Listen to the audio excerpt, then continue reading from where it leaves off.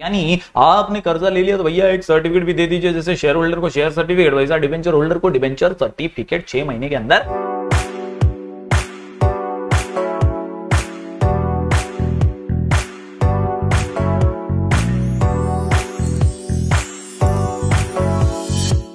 Hello everyone मैं हूँ जयेश राजगोर और स्वागत है आप सभी का इस नए इंटरेस्टिंग यूट्यूब वीडियो में। दोस्तों, हम पढ़ रहे हैं क्लास ट्वेल्थ का एसपी यानी सेक्रेटरियल प्रैक्टिस ये है चैप्टर नंबर चार इश्यू ऑफ़ डिवेंचर्स का लेक्चर नंबर वन जी हाँ दोस्तों इश्यू ऑफ़ डिवेंचर्स ये है एक छोटा सा नन्हा मुन्ना सा चैप्टर और इस चैप्टर में से कुछ ही इंपॉर्टेंट चीज़ें हैं जो आपको पढ़ लेनी है। बस काम फिट मामला हिट हो जाएगा। इश्यू ऑफ़ डिबेंचर्स के अंदर ऑलरेडी आपको पता ही है कि डिबेंचर्स होते क्या है। हमने फ़र्स्ट चैप्टर में भी ये पढ़ा था। इलेवन स्टैंडर्ड में भी थोड़ा बहुत इंट्रो हमने लिया है कि डिबेंचर्स होते क्या है। बेसिकली डिबेंचर्स क्या है? तो ये कंपनी का लिया हुआ कर्ज है डेट है, जिसको रीपे करती रहती है कंपनी लॉन्ग टर्म के लिए लिया हुआ डेट होता है ये। और इंटरेस्ट के माध्यम से जो डिबेंचर होल्डर्स होते हैं, उनको पैसे भी कंपनी देते रहती है। इस चैप्टर के ज़रिए हम पढ़ेंगे कि बस कि बस प्रोविज़न क्या है कैसे डिवेंचर्स को इशू किया जाता है और किस प्रकार से प्रक्रिया जो होती है पूरी की पूरी डिवेंचर्स को इशू करने की आगे ले जा सकती है। तो कंपनी कैसे डिवेंचर्स को इशू करती है और क्या प्रोविजंस हैं, वो आज की इस वीडियो में जानने वाले हैं। अगर आप इस चैनल पर नए हैं तो ज़रूर से सब्सक्राइब कीजिए बेलाइकन दबाइए, क्योंकि यहाँ आपको लगातार ऐसी इंफॉर्मेटिव वीडियोस मिलते रहेंगे। आप प्लेलिस्ट में जा सकते हैं, वहाँ पर आपको दोस्तों ओसीएम इकोनॉमिक्स और एसपी के चैप्टर वाइज वीडियोस मिलते रहेंगे। तो बने रहिएगा हमारे साथ अंत तक। तो दोस्तों, शुरुआत करते हैं provisions for issue of debentures के साथ। कुल मिलाकर के नौ पॉइंट्स का ये आंसर और आसानी से इसे याद करने के लिए, लिख के प्रैक्टिस करने के लिए और इजीली बोर्ड एग्ज़ाम में मार्क्स हासिल करने के लिए हमारा शॉर्ट कोड है candid TP candid TP candid TP जी हाँ दोस्तों provisions for issue of debentures कैसे कंपनी डिबेंचर्स को इशू करेगी, क्या प्रक्रिया होगी? उसी का ये आंसर है आपके सामने. कैंडिड टीपीसी से क्रिएट डिबेंचर रिडेम्पशन रिज़र्व इसके अलावा ए से अपॉइंट ऑफ़ डिबेंचर ट्रस्टीज इसके अलावा no voting rights debenture certificate I से इंपोज रिस्ट्रिक्शन और डी से once again debenture trustees can approach NCLT ये अलग अलग हम प्रक्रियाओं को समझ रहे हैं प्रोविज़न को समझ रहे हैं. आखिर में types of debentures payment of interest and redemption और punishment for contravention of provisions of the companies act तो इस प्रकार ये नौ पॉइंट्स हैं। इन सभी पॉइंट्स को बारीकी से इसी वीडियो में समझने वाले हैं। तो इस वीडियो को अंत तक ज़रूर देखिएगा और लिख करके आंसर की ज़रूर प्रैक्टिस कीजिएगा। इश्यू ऑफ़ डिबेंचर्स के प्रोविज़न आंसर का नाम candid TP candid TP candid TP. चलिए शुरू करते हैं। सबसे पहले क्रिएट डिवेंचर रिडम्पशन रिज़र्व बहुत ही सिंपल सी बात है। रिज़र्व तो हमेशा होना ही चाहिए। आप कर्जा ले रहे हैं। आप कर्जा ले रहे हैं तो रिडम्पशन रिज़र्व बहुत ज़रूरी है हर कंपनी के लिए। और कंपनीज़ एक्ट इसी को यहाँ पर मोहर लगाते हुए कह रहा है। Company has to create a debenture redemption reserve account out of profits of the company available for payment of dividend यानी जो भी मुनाफा कंपनी कमाती है ना, उसमें से रिज़र्व थोड़ा थोड़ा थोड़ा थोड़ा करके जमा करते रहिए। लोचा लफड़ा नहीं होना चाहिए बाद में, ताकि आप डिविडेंड आसानी से दे सकें। This money can be use only for redemption of debentures जी हाँ ये पैसा साइड में रख दीजिए ताकि इसको आप रिडम्शन के लिए ही यूज़ कर सकें। As per company share capital and debentures amendment rules 2019 कहते हैं MC has removed debenture redemption reserve requirement for listed companies यानी जो कंपनी लिस्टेड है वो स्टॉक एक्सचेंज के अंदर ना, उनको ये करने की ज़रूरत नहीं है।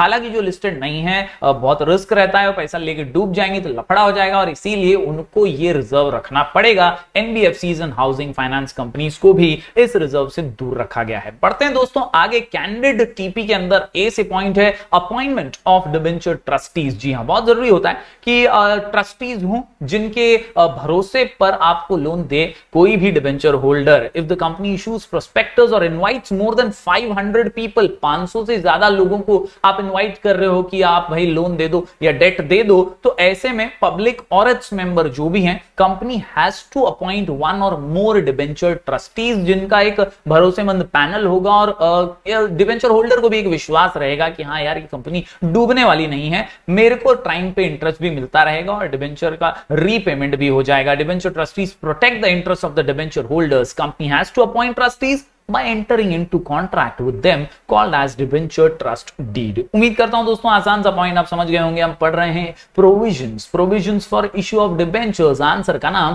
कैंडिड टीपी आंसर का नाम कैंडिड टीपी एन से नो वोटिंग राइट्स भैया। प्रेफरेंस शेयर होल्डर्स को मिलेगा तुमको थोड़ी मिलेगा। यस yes, याद रखिए दोस्तों इक्विटी शेयर होल्डर्स जो होते हैं स्पेसिफिक कुछ प्रेफरेंस शेयर जो होते हैं, उनको ही ये वोटिंग का अधिकार है डिबेंचर होल्डर तो भाई लोन देने वाला है क्रेडिटर है, इसको नहीं मिलने वाला company can not issue debentures with voting rights debenture holders are creditors of the company and so they do not have voting rights except in matters affecting them. तो यहाँ पर voting rights डिबेंचर होल्डर्स को इल है आगे बढ़ते हैं दोस्तों। अगला पॉइंट है कैंडिडेट के अंदर debenture certificate company has to issue debenture certificate to the debenture holders within छह महीना ऑफ़ अलॉटमेंट ऑफ़ डिबेंचर्स यानी आपने कर्जा ले लिया तो भैया एक सर्टिफिकेट भी दे दीजिए, जैसे शेयर होल्डर को शेयर सर्टिफिकेट वैसा डिबेंचर होल्डर को डिबेंचर सर्टिफिकेट छह महीने के अंदर देना अगला इंपोज रिस्ट्रिक्शन ये पॉइंट है कुछ उसूल, कुछ आदर्श, कुछ रिस्ट्रिक्शन रूल्स तो होते ही हैं, यहाँ पर भी हैं when the debenture trustees of the opinion that the assets of the company are insufficient और likely to become insufficient to redeem the principal amount of debentures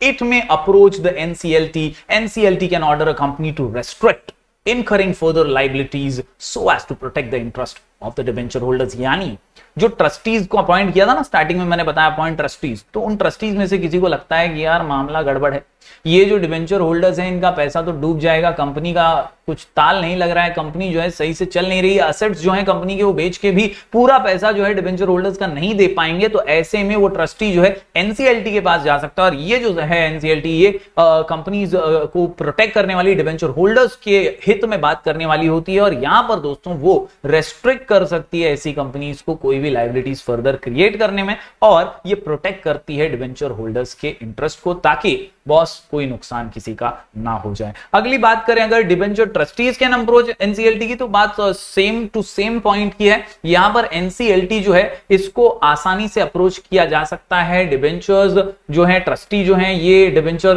holders के बिहाफ पे उनके इंटरेस्ट को मद्देनजर रखते हुए एनसीएलटी को ये नेशनल कंपनी लॉ ट्रिब्यूनल को एड्रेस कर सकते हैं। Debenture trustees have to redress the grievances of debenture holders यानी उनको अपॉइंटीज तो इसलिए किया है ना कि भाई जो ट्रस्टी ट्रस्टीज उनको अपॉइंट इसके लिए किया है कि डिवेंचर होल्डर्स का वो लाभ देख सकें, वो देख सकें कि भैया कोई नुकसान तो उनका नहीं हो रहा है। If the company defaults in repaying the principal amount on maturity और defaults in paying interest thereon that debenture trustees can approach the national company law tribunal ये बनाया इसलिए गया है कि कंप्लेंट्स और ग्रीवियंसेस यानी प्रॉब्लम्स को वहाँ पर दिया जा सके। NCLT can direct defaulting company to repay the principal amount और इंटरेस्ट यानी एनसीएलटी का सुनना ही पड़ेगा कंपनी को कहीं ना कहीं कुछ ना कुछ करके बेच बाच के प्राइस जो है अमाउंट जो है प्रिंसिपल अमाउंट जो मेन अमाउंट है डिवेंचर होल्डर से लिया हुआ, वो लौटाना ही पड़ेगा, ब्याज के साथ देना पड़ेगा। इस प्रकार दोस्तों, ये कुछ इंपॉर्टेंट पॉइंट्स हम पढ़ रहे हैं। Provisions for issue of debentures के शॉर्ट कोड है। कैंड टीपी यहाँ पर टीपी हम पढ़ने जा रहे हैं। टाइप्स ऑफ़ डिबेंचर्स बहुत मैटर करता है क्योंकि दोस्तों एक कंपनी जो है सिक्योर्ड अनसिक्योर्ड अलग अलग प्रकार के डिबेंचर्स इश्यू करती है। A company an issue secured और अनसिक्योर्ड डिबेंचर्स एंड फुल्ली और पार्टली कन्वर्टेबल डिबेंचर्स और नॉन कन्वर्टेबल हमने पढ़ा है दोस्तों पहले। अलग अलग प्रकार के डिबेंचर्स होते हैं। To issue convertible debentures a special resolution has to be passed in the general meeting all other debentures are redeemable in nature यानी दोस्तों, ये जो टाइप ऑफ़ डिबेंचर है ना, वो भी प्रोविजंस के अंदर बहुत मैटर करता है कि आप कौन से टाइप का इशू करने वाले हैं। अगली बात करें, अगर पी से पॉइंट की तो यहाँ पर याद रखिए payment of interest on redemption बहुत ज़्यादा ज़रूरी है कि बॉस कब आप पे करेंगे इंटरेस्ट कैसे पे करेंगे, कितना पे करेंगे और रिडीम कभी होंगे debentures company shall redeem the debentures and pay the interest as per the terms and condition of the issue तो जो लिखवा करके आपने लिया था, जिस शर्त पे आपने जो कंडीशन रख के आपने डिवेंचर से डेट लिया था डिवेंचर होल्डर से डेट लिया था, या फंड रेज किया था, दोस्तों, वो आपको पूरा करना है. एज अ कंपनी आपका फ़र्ज़ है कि आप इंटरेस्ट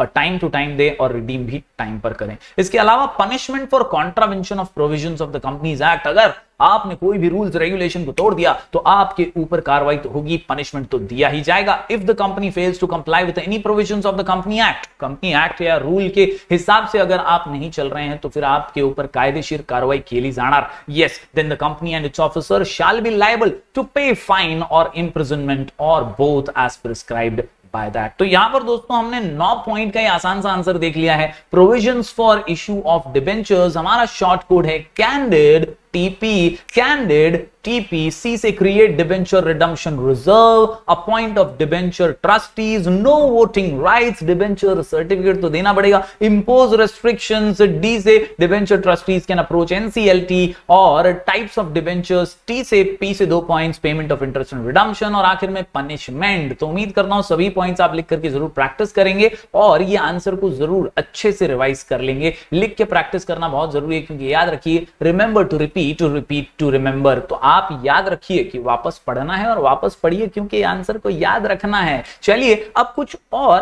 अलग से छोटे मोटे प्रोविज़न को देख लेते हैं। तो दोस्तों, ये है कुछ और प्रोविजंस जो कंपनी के शेयर कैपिटल और डिवेंचर्स के आधार पर 2014 के रूल्स के हिसाब से बताए गए हैं। यहाँ पर सिक्योर्ड डिवेंचर्स अगर इशू कर रही है कंपनी तो ये रूल्स भी फॉलो करने पड़ेंगे, जो कि सिमिलर ही हैं। सबसे पहला टेन्योर क्या है सिक्योर डिवेंचर का? तो 10 साल से ज़्यादा की अवधि नहीं हो सकती। कुछ ही कंपनीज़ ऐसी हैं जो 10 साल से ज़्यादा का टेन्योर ले सकती है डिवेंचर्स को रेज करने के टाइम पे, जैसे कि इंफ्रास्ट्रक्चर प्रोजेक्ट्स वाली कंपनीज़ हैं companies permitted by the ministry of corporate affairs या सेंट्रल गवर्नमेंट या आरबीआई से रिलेटेड कोई कंपनी है तो वो इशू कर सकती है debentures beyond a period of ten years otherwise दोस्तों 10 साल के अंदर ही आपको काम फिट कर देना है।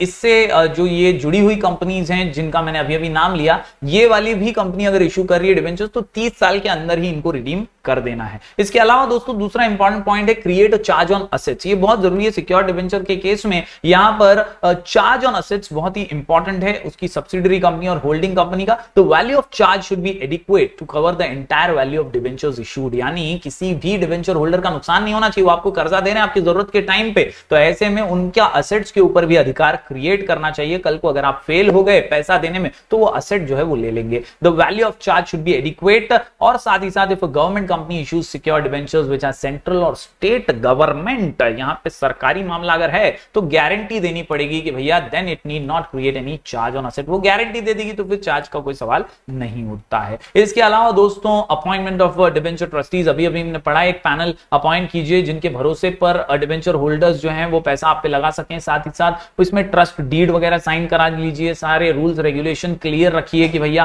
कितना ब्याज होगा, कैसा ब्याज होगा, कब देंगे आप, किस तरह से रिडिम्शन होगा, ये सारी चीज़ें आपको अपॉइंटमेंट ऑफ़ डिवेंचर ट्रस्टीज के सामने ट्रस्ट डीड बना करके कर लेनी है। साठ दिनों का अनुमान अवधि होता है कि अलॉटमेंट ऑफ़ डिवेंचर्स के सिक्सटी डेज़ के अंदर ही आपको ये प्रक्रिया कर लेनी है। कई बार तो इससे पहले भी आप अगर कर लें तो बहुत अच्छी बात है। और आखिर में क्रिएट डिवेंचर रिडम्शन रिज़र्व तो दोस्तों ये भी एक पॉइंट जो हमने शुरुआत में भी पढ़ा कंपनीज़ के शेयर कैपिटल और डिवेंचर के आधार पर भी यहाँ पर डिवेंचर रिडम्शन रिज़र्व आपको क्रिएट करना पड़ सकता है। Company has to create a debenture redemption reserve account out of the profits available for payment of debentures तो बहुत ही सिंपल से ये पॉइंट्स हैं। Company has to maintain at least 25 percent of the value of its outstanding debentures यानी जो भी आपके आउटस्टैंडिंग डिबेंचर है, जो भरना बाकी है, जो पैसा देना बाकी आउटस्टैंडिंग मतलब यही तो यहाँ पर आपको 25 परसेंट आपके मुनाफे में से रखना ही पड़ेगा इन डिबेंचर्स के लिए और रिज़र्व आपको क्रिएट करना पड़ेगा। Company has to invest or deposit on or before 30 April each year sum not less than 15 percent of the amount of its debentures maturing during the year ending